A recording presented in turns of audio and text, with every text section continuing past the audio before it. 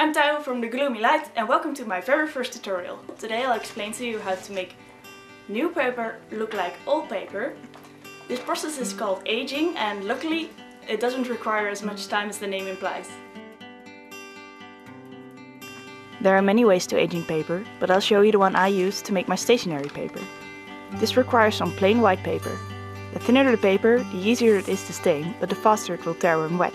I find that regular 80 grams printing paper works best, but you can go heavier up to 160 grams per square meter.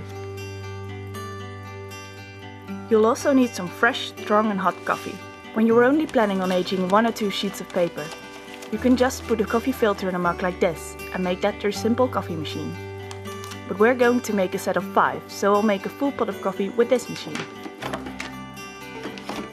I like to add some lemon juice for extra staining, so we'll also put that on the list.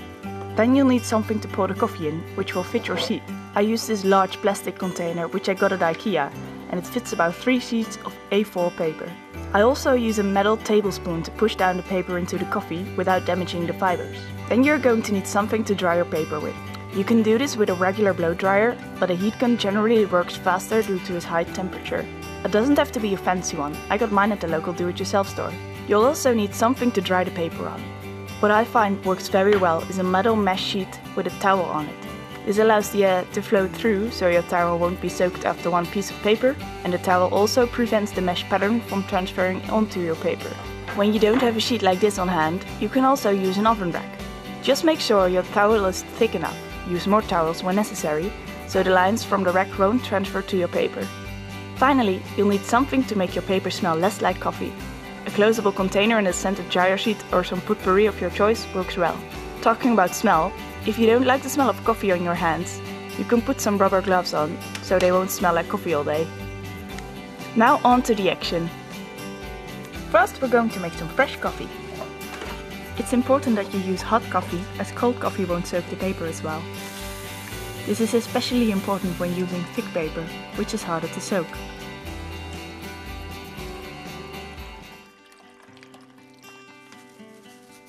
Make the coffee quite strong, as it will stain the paper better.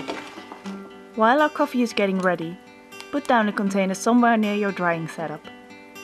My heat gun and mesh and towel are over there, so I'll put the container on the floor next to it. Now lay a few sheets of paper in the container. Next up is pouring the hot coffee onto the paper. Make sure you cover every part of paper and nothing is sticking out above the surface. Then add some lemon juice.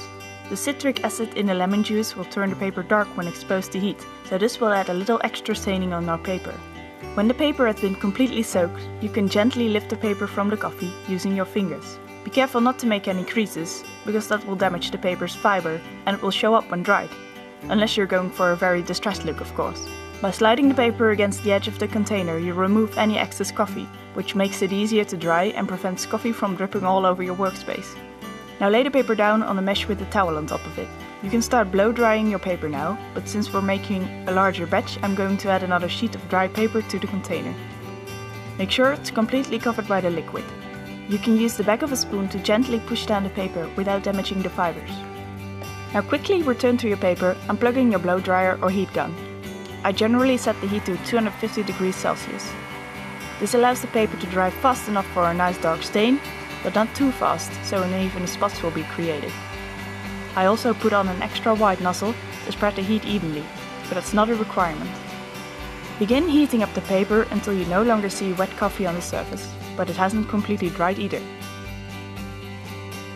Now flip the paper and continue on the other side. This way both sides will be stained more evenly. If you're only going to use one side of the paper in a scrapbooking project for instance, you can stick to only heating up one side of the paper.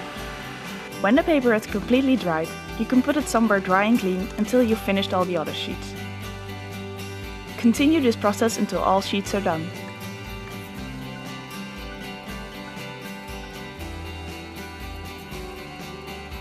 Doesn't this look satisfying?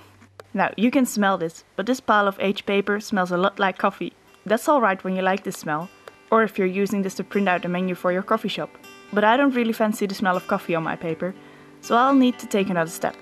Stick with me a little longer if you want to know how to make your paper smell like something you like. To scent the paper, I store it in a wooden cabinet. You can use any container for this, as long as it's got some sort of cover. Put the paper in the container and add the dryer sheet or the potpourri of your choice in between sheets. Let it stay in there for at least a few hours, up to a few days for a nice smell. I use this cabinet to store my paper until I need it, so some sheets will be in there for weeks or even months. Ta-da! And your paper is done! You can use this for all kinds of projects like scrapbooking, making postcards, writing letters to your friends. You can make it even fancier by adding a wax seal to close it, or use it for party invitations. You can add more detail by burning the edge a little, or distress it even more by adding new spots of wet coffee where the paper is almost dried.